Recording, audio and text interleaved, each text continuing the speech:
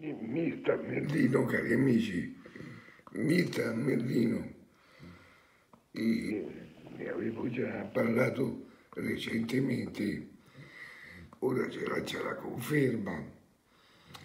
E Mirta Merlino dice che anche la polizia postale ha le armi spuntate e nessuno riesce a fermare queste notizie, cioè, cioè appaiono periodicamente dei post dove, dove si utilizza un personaggio importante, in questo caso Mizza Merlino, per, per spiegare che si possono fare soldi a parate, a parate con le criptovalute e per cui la Banca d'Italia interviene per denunciare il personaggio importante.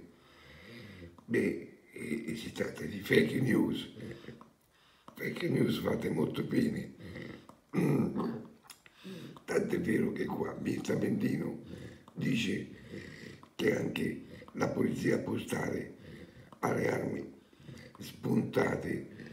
Sembra incredibile, cari amici, sembra incredibile, ma è proprio così.